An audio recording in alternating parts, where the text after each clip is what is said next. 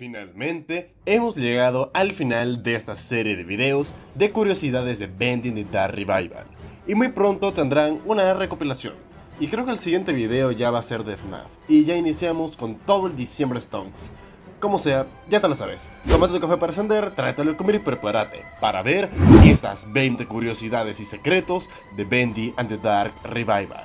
Capítulo 5 de Dark Revival. Eso es un poco redundante, pero no importa. Justo al inicio del juego, cuando los Keepers nos llevan al metro, podemos ver una mesa con antiguas armas provenientes de anteriores sujetos. Está la hacha de incendios que usaba Henry y la Tommy Gun del capítulo 3. Es por esto que podemos inferir que capturaron tanto a Henry como a Alice y les quitaron estos ítems. Más adelante se nos revela un dato muy importante. Se nos dice que las torres de colores que debilitan al demonio de tinta y te quitan tus habilidades fueron fabricadas por Gent Corporation. Algo muy extraño, pero es lore al fin y al cabo. Si avanzamos un poco más dentro de la mansión de Wilson, encontraremos un cuarto con una pintura de perros jugando póker. Esta es una curiosidad, un poco de referencia a la serie de pinturas de perros jugando póker del mundo real que suelen ponerse en los bares.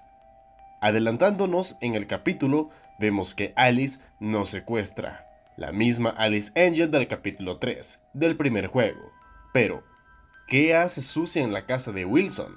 Bueno, supimos que los Keepers la atraparon en algún momento entre el capítulo 3 y el 4 del juego original, y luego la llevaron a la prisión donde vemos su escrito, de donde se escapa de alguna forma. Luego logra recuperar su arma del contrabando y probablemente quiera matar a Wilson, por lo que aborda el tren, y es por eso que está en sus dominios en este capítulo. Alice pone a Audrey en una silla eléctrica, mientras la sienta en una mesa, atada y con varios perdidos, cubiertos de la cabeza, mientras le juega una broma macabra. ¿Te suena parecido el concepto o se te hace familiar la escena? Pues claro que sí, aquí de Milty hizo una referencia total al cómic de Batman The Death of the Family, cómic en el cual el Joker le hace exactamente eso mismo a Batman. Siguiendo con las referencias, al parecer Alice tiene muy buenos gustos, pues su acertijo es una referencia total a FNAF, y el código para abrir la puerta contiene a un oso, un conejo, un pájaro y un zorro. Muy bien hecho, Dimitri.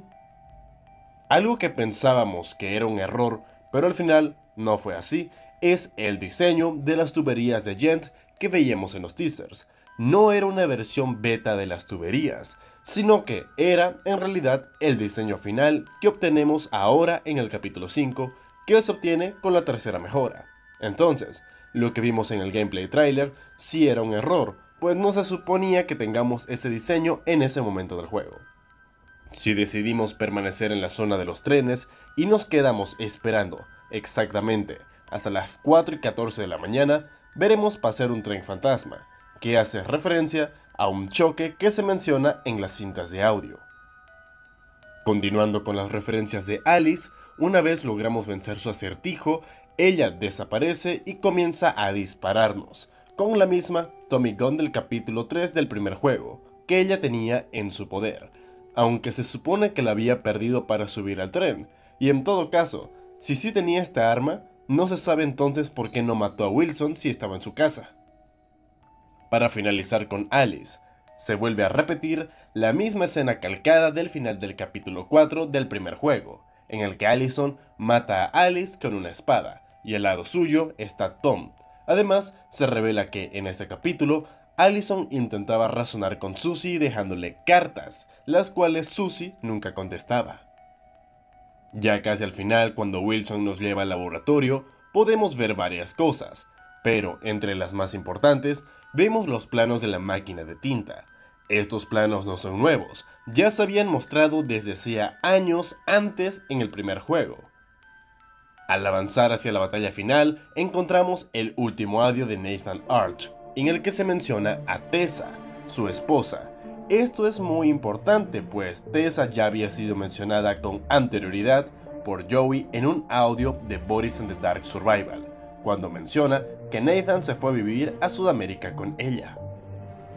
Cuando vencemos a Wilson y nos fusionamos con Ink Bendy, encontramos un recorrido de nostalgia y mucho fanservice, con muchos personajes viejos. No solo están Porter, Allison, Tom y los perdidos, sino también vemos a Henry y a Sammy Lawrence, al cual tristemente Allison mata en un segundo. Supongo que era necesario porque era el único villano que seguía vivo a este punto, pero ¿en serio trajeron a Brandon Landon de vuelta solamente para matar a Sammy? Qué triste. Y lo más emotivo de todo, se repite el final del primer juego, pero con una ligera diferencia, y se revela que al final la cinta de The End, si la ves, te vas al mundo real.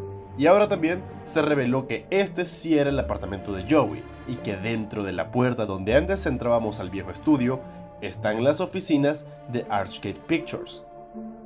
A diferencia de lo que nos había dicho Dimitri, Borkis sí aparece en el juego, solo que no puedes verlo de manera convencional.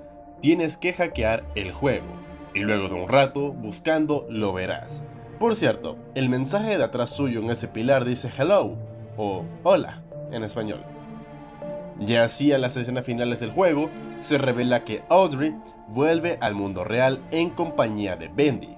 Lo curioso aquí es que este cartoon Bendy tiene exactamente el mismo diseño y la misma corbata roja que el boceto que Audrey dibujaba al inicio del juego. Cuando llegamos a la batalla final del juego, vemos a Wilson convertido en su propia creación.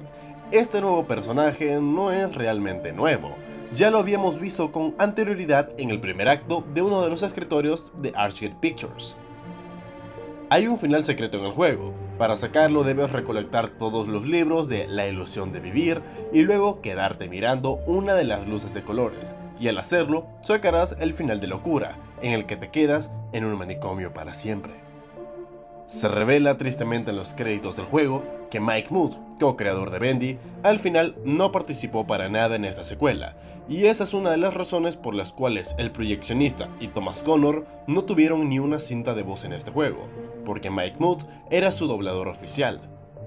En la escena post créditos de este juego podemos ver algo muy interesante, Agent Corporation llevándose la máquina de tinta, pero no solo eso, sino también los objetos necesarios para encenderla, e incluso los pedestales, mismos objetos que vemos en el capítulo 1 del primer juego, en el apartamento de Joey y en el primer acto de este mismo juego.